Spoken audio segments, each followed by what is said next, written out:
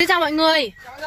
Hôm nay thì uh, em sẽ uh, làm cái video này để uh, giải đáp một số câu hỏi. Ví dụ như hôm trước Có một anh anh hỏi em là anh nuôi con chó đấy hình như là tầm uh, 2 năm rồi mà chưa thấy nó xa lơ. Thì sẽ giải đáp cho mọi người một số cách để cho con chó nó nhanh xa lơ này. Thứ hai nữa là để giải đáp cái câu hỏi nuôi chó 2 năm mà không xa lơ nhá. Ôi con chó nó bật ra ngoài rồi.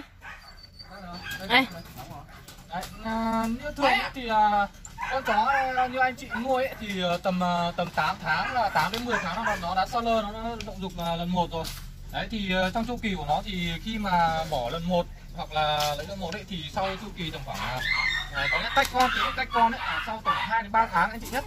Khi à, đối với thể chất của con chó ấy thì khi mà con chó mà anh chị hay thường bảo là có anh nuôi lâu mà anh à, anh không nhưng mà cho ăn đầy đủ.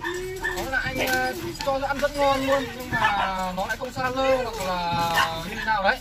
Thì ờ, có nhiều trường hợp có nhiều nguyên nhân dẫn đến tình trạng như vậy thứ nhất là nếu mà cơ, cơ thể của con ờ, đối với đối với cơ thể của con chó nhé khi mà con chó nó mà không ăn hoặc là thiếu đang thiếu một chất gì đấy dù anh thấy con chó rất là mượt này rất là béo tốt rất là mượt nhé nhưng mà bên trong cơ thể nó ấy, có thể thiếu một cái nó đang đang cảm nhận là nó không không đủ tiêu chuẩn nó không đạt được cái sức khỏe để nó nuôi đàn con ấy thì nó sẽ không xa lơ đấy thì anh chị phải xem lại thứ nhất là chế độ ăn này à, không gian hoặc là cách nuôi của mình xem lại hoặc là con chó nó con này nó có kiểu như là nó có quá bị quá bị stress hay không ấy nó bị nó có thể kiềm lại cái cái cái có là sinh học cơ thể cái, cái lịch sinh học của nó ấy.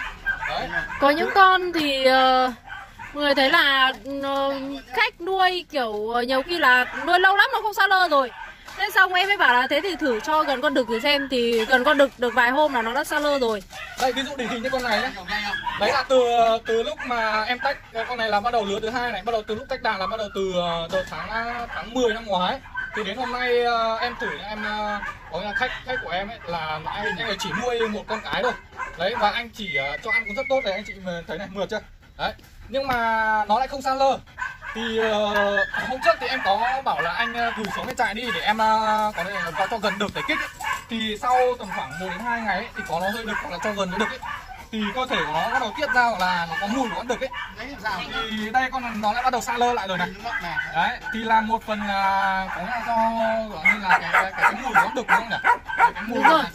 nó sẽ có cái mùi riêng nó tiết hormone ra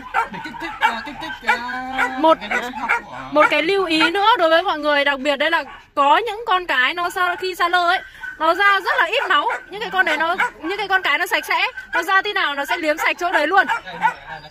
Nên là mọi người có những con xa lơ mà mọi người không để ý là mọi người không biết đâu.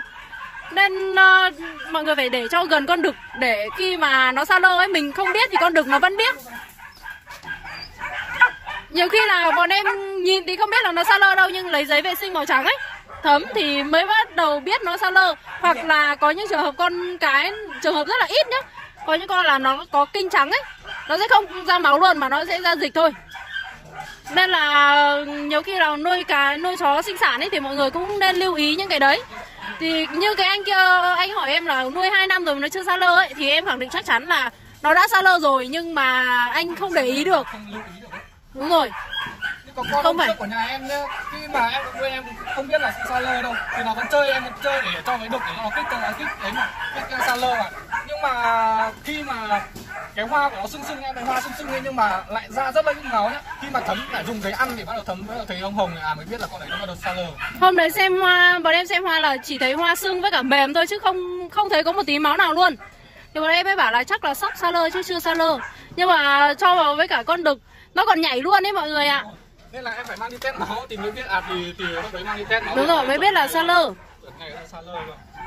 Nên là mọi người nuôi cái cũng phải lưu ý nhá chứ không phải là cứ vứt vào cho nó ăn là xong đâu.